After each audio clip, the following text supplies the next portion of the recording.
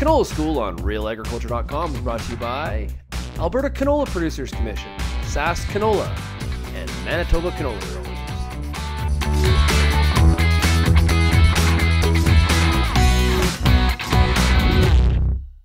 Welcome to Real Agriculture's Wheat School series. I'm Kara Oosterhuis. In this episode, I talked to Tyler Wist, who is a field crop entomologist with Agriculture and Agri-Food Canada in Saskatoon.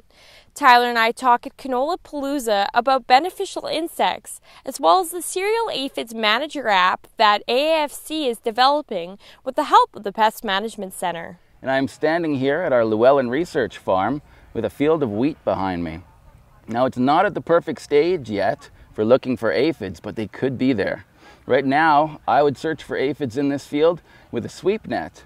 But pretty soon, you'll be able to have the Cereal Aphid Manager app on your smartphone or tablet. So this is being produced by Agriculture Canada through some work that I've been doing. I've developed a, a model that tries to predict the buildup of aphid populations. But the unique thing about this model is that it also talks about the impact that the beneficial insects have on keeping those aphid populations down. So let me talk about Cereal Aphid Manager for a second. So what it will do is you'll take it out to the field and you'll start scouting. First, it's going to ask you what your crop is. And so if it's not a cereal crop, it's not going to work because this is for cereal aphids. We're looking for the English grain aphid and the bird cherry oat aphid, sometimes the green bug aphid, but um, that's all going to be included in here. We've got pictures of the aphids, we've got pictures of beneficials, and what we're going to do is take you through a scouting exercise on the app. So when you get to the field and you tell it that you're in a wheat field, it's going to ask you what stage your wheat is at. So you're going to need to know what the Zadoks stage is. So if it's Zadoks stage 85 or above, that soft dough stage or above, aphids can't hurt your field anymore. And so the app will say, hey, go home. Don't worry about it. You don't need to scout your field anymore. So that's step number one. If we're below Zadoks stage 85, it'll ask you to scout your field in a W pattern. So you're gonna hit four, five points on the W, and at each of those points, you're gonna scout aphids on five heads.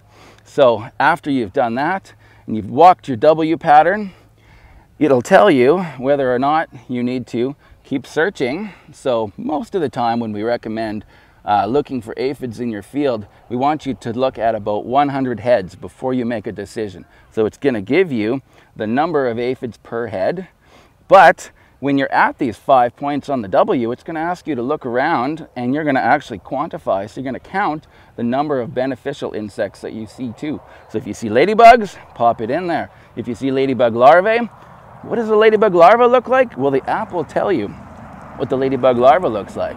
So it all goes into an equation that's working in the background and um, it'll spit out information at the end. Oftentimes, if you're getting near that, that threshold of 12 to 15 aphids per head, it'll tell you to come back in a day or two because aphid populations can explode fast. So you want to keep on them. So it'll store your data and it'll tell you what your threshold was at the last time you were in your field. And so then you'll know if your population is increasing or decreasing. And so if you don't have a whole lot of beneficial insects in your field, the aphid population can increase rather quickly.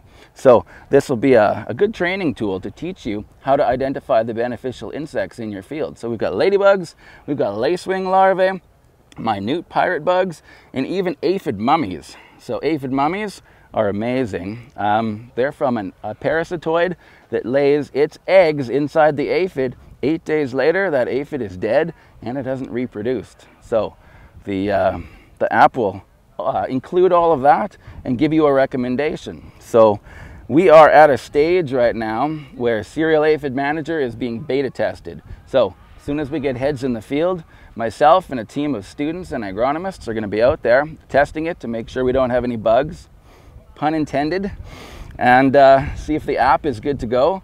And we're, we're going to have it on the Apple operating system and the Android operating system, and maybe for us government guys on the BlackBerry system. So, would you like to see how the app works? Right now, field information, Tyler's field, and I'm going to say start a new assessment. So, what it's going to tell me to do is add myself as a new observer so you can always track who's been doing the observation in case you've got a summer student or something who doesn't count very well. Or if I don't trust myself, then we put in the Zadoks growth stage. I'm gonna say, what are we at right now? Tillering, stage number two. Put that in there, okay. So, it's gonna let me go on because we're not above stage 85, the soft dough stage. So then we go to sampling point number one. We say, yeah, yeah, we wanna create this observation set. Here's that W pattern. We got the top, we got the bottom. So we're in here, and look, one, two, three different species of aphid that we're looking for in Western Canada. Here's our English grain aphid, bird cherry oat, and green bug. Pictures all taken by me. That was pretty fun. And um, so let's say, let's pretend that we've got aphids in this field. So we'll just add a couple like that. There we go. Four English grain aphids on that head. All right, then we move on to the next tiller. Easy. Oh, I see a natural enemy. Let's open that up. Hey, seven spotted ladybugs. There we go. Damsel bugs. Right, I forgot to talk about those. Raptorial front legs for grabbing aphids. Green lacewing larvae, also called aphid lions, because when they grab an aphid, they shake it like a lion would shake a lamb. There's our minute pirate bugs, brown aphid mummies. We got black aphid mummies representing two different species of parasitoid. Let's say that we've got there we go, ladybug. Just one, just one. All right, confirm. Let's go back to our observations and let's head to the next tiller. What have we got? Let's say we've got nothing. There we go. Next tiller. Ooh, we got a green bug in there. Punch that green bug in. Just one. Crops in an early stage. Let's keep going. Okay, so we're now going to walk 30 meters to the next sampling point. We move on down in that W. So what this does is it gets you out of the edges of the field gets you right into your field so that you can sample and make sure that you're checking many different points. If you don't check many different points, you might find a hot spot or you might find a spot where there just aren't very many aphids. So, let's see if we can view a recommendation yet. Yeah, it says, nope, you're not done yet. So, the app will force you to scout in your field um, according to how we want you to scout. It's going to teach you about beneficials and it's going to teach you about the impact of those beneficial insects on your pest population.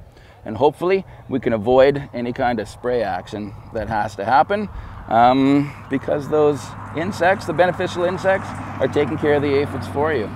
So you'll be able to find this in the Google Play Store. You'll be able to find it in the Apple Store. Free download, 9 megabytes in size, and it will store all of your observations. It will store all of your fields.